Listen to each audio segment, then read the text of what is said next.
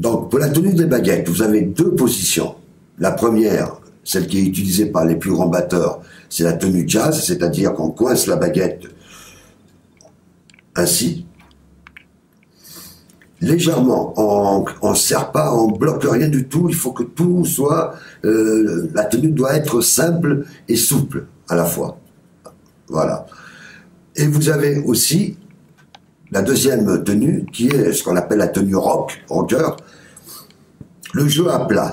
Donc, je, les bras écartés, je procède à, faire une pince avec le pouce et l'index. Voilà.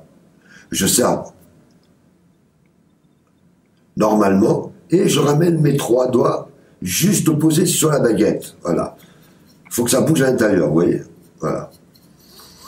Là, j'ai la bonne position. On se tient droit et on est prêt à commencer à flirter avec la batterie.